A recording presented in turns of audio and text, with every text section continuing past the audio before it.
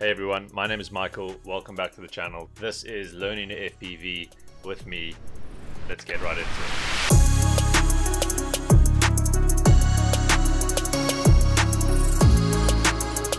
But the first controller which we're going to do is the Xbox controller. So Xbox One and up. So you're going to take your Xbox controller, you're going to take a micro USB cable which plugs in to the back. You're going to plug that in. So we're going to come over here to settings, we're going to click controller setup. So it now knows that I have an Xbox, which is fantastic. Um, and we're going to click quick calibration. So make sure your sticks are centralized. They are centralized. Um, so just before going to that, so on the on the right hand side here, you can see the little drone, and on the left hand side is the controller. This is what it's going to show you on this side what you need to do. You need to copy these moves, and on this side, it's good and important to look at because you'll be able to kind of see if it's reacting the correct ways, which will come in later when we need to invert the controls if it didn't pick it up correctly. So we're to go calibrate, centralize the sticks. We're to leave it. Great. Rotate the sticks to filter. So we're to turn them around. Yeah, we're to throttle the stick up. Yep, yaw. So we're to use that. Pitch. I'm to pitch forward.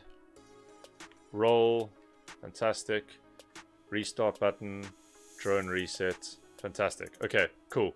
So that part's done. That's fantastic. Now that same method is the same on um, the on the on the on this. Exactly the same. It's the same on every, any other controller. Um, so I, we'll get to that in a second.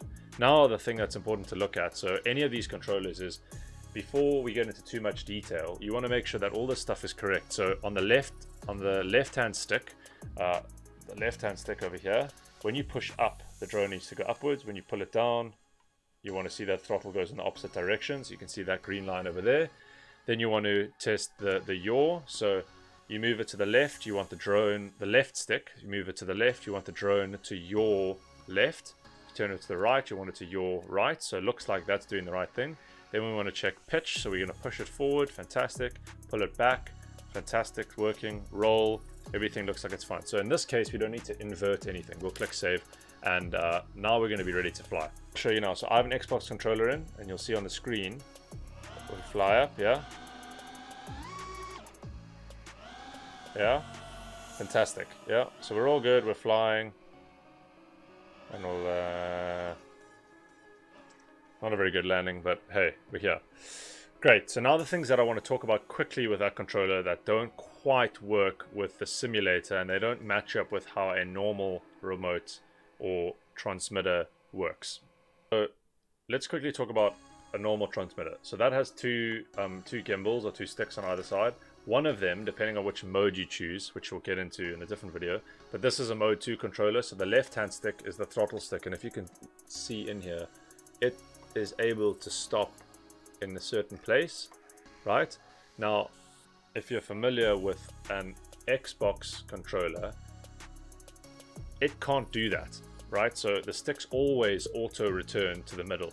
Now, this doesn't do that, the throttle one specifically. The other one does, so the gimbal on this side will return to the middle, but this one won't return to the middle. So that's the differences, and that's where kind of practicing with this kind of not set you up for bad habits, but um, if you practice with that for a really long time, it, it's difficult to move over to these controllers, which is what I actually found. So I had this for, I don't know, about a, a week probably before I got an actual um, transmitter.